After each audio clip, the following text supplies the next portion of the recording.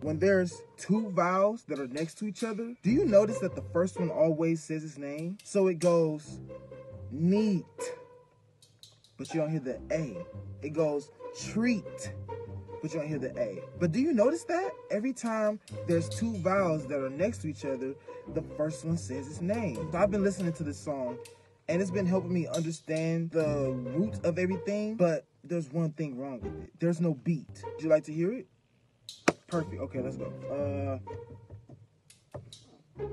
when you see two vowels side by side, you might notice something strange. Mm-hmm. The first vowel sound is loud and proud, and the second can't say his name. You hear the E and E also in treat, but the A just can't be found. Mm-hmm. But in words like brain, rain, or train, the A can say its sound. What, what? So when two vowels are walking, the first one does the Ooh. talking. And pain, you hear the A, but not the I. No, you don't. No, you don't. No, you don't. The rules are clear, so don't you cry. Just give my song a try. My challenge to you is send us a video of you trying to make a beat for that song.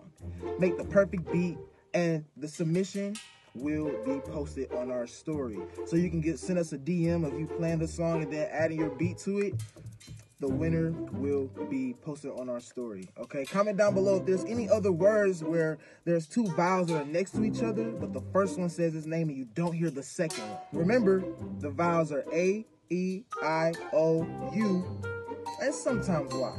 Okay? All right, comment down below. I want to see them. I want to see them.